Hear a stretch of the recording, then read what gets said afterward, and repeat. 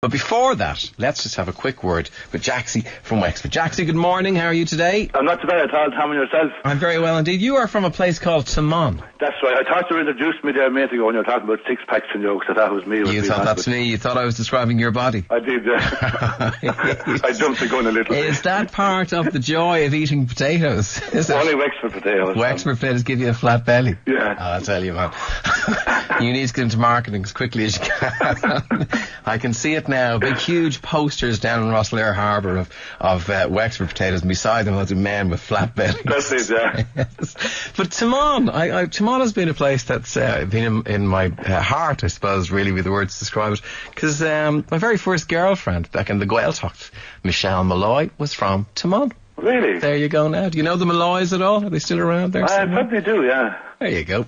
Yeah. I can't help but when I drive through the area, you wonder they're around here somewhere. They're around here somewhere. Yeah. But listen, what is it you were going to tell me about? Well, no, we just have an outspud tasting competition here. We have it for the last three years. Really? And um, what happened was there was a few lads came in here one night and they were after their spuds. And one lad's spud was trying to be better than the other. Yeah. So I said, bring him in and we'll cook him and we'll taste him.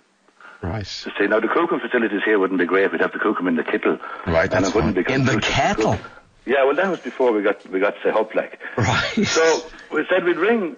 I, I, I said we'd bring him in and taste him, like, and see who'd have the best spud. Yeah. And then I went home that night and I, I got this brainwave. Got to have had someone really good to come down to judge him, like, we could make it.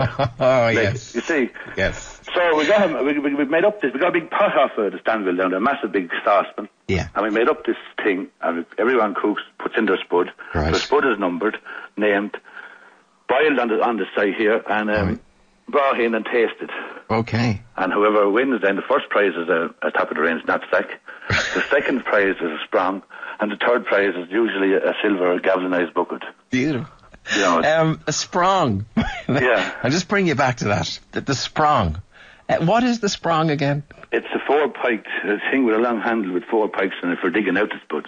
Exactly. I just I saw a thing on the weekend for if you wanted to avoid having a bikini line, it was like a little kind of a, a bent spoon that the lady would just kind of fold up in her nether regions, and then there'd be no no, lines. no, no, I just when you said sprong, I thought you might that might be a sprong because I No, have to say I don't a- know what it's called, but I would like to call it a sprong. This would be a dangerous joke to have near your bikini line down there, to be honest. Right. You don't want that. No. You don't want something that's used for digging out potatoes anywhere near the bikini line. No, you do not. No, definitely not. Right. No. Okay, that's it. I have to say, I, I'd fancy the second prize there. That's the one I'd want to win. So, have you done this yet, Jackie? Yeah, we've done it two years there now, the last two years. Yeah. And uh, we're, we're, haven't got the, the judge this year yet now, but as soon as we do, I'll let you know. All right. She was okay. supposed to be confirmed the last few days, but And is there that big a difference now, even within Wexford, within the Wexford Spud? oh, yeah, there would be awful difference in texture and taste and, you know, and dry matter and stuff like that. Yeah, dry matter. I am. I only Yeah, found it out doesn't matter yesterday. about the size of the spud either. Like, Ah, no, no. It's all about the. You know. I only found out yesterday what the soapy thing meant. That means that, that it cuts like a piece of soap. oh, yeah, you it could stays- shave in it. Yeah, it stays Yeah. together, and you want them floury. Oh, you do, yeah. So, what is the best Wexford potato? Where, where would I go for the best Uh, Wexford? I reckon, I reckon the Sharpe's Express now, Tom, would be the best. Now, a lot of lads will go for the Queen, but the Sharpe's Express would be early. right. They're a good spud. And you get him around Taghmon, definitely Taghmon area would be the best. How do you know you're getting a Sharpe's Express? Ah, you know, be the colour of it, sir, and the Right. skin on it. Right. Doesn't No, call I itself. thought you like the Wexford spud. I love the Wexford Spud. Well, you but, may come down and judge it with us then. but I'm only getting to realise that there's more to the Wexford Spud than meets the eye. well, if you come down here that night and you, you'll be guaranteed a feed of spuds, uh, and we're, we're, we're cooking a pig on the spit as well, so you'll be, Right. You'll be guaranteed that. Oh, I tell you, if we can't go to you, is there any chance you might come to us? Well, oh, definitely. We're, we're mobile. think Taghmon that- and District I think Smallholders Association. Why? Why a, go anywhere. a, a potato tasting competition could be on the radio? I can't see any reason against it. I don't see Actually, it, no. You know, we look into this further. I, I'm very intrigued by the Sharpe's Express. Yeah. Um, I have to try them. They're lovely I, food. I tell you. And they're, they're the first areas as well. They're the fir- when would you get them? Oh, the end of May, first of June. Excellent. If you had the, if you had the right type of style. Right. you know, which I would have, like around Which this you- area. Naturally, you would. Around here, you I know. wouldn't expect Yeah. anything else.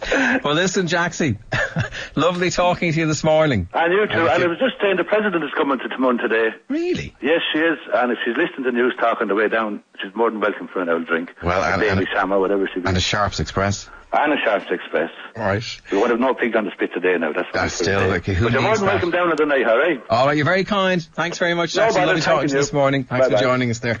I'll tell you, I'm, I'm, I'm going to become one of the world's leading experts on the Wexford potato before this is too late. And I've been pronouncing Taghmon uh, incorrectly for my entire life. Uh. I'm never going to pronounce that right. Right.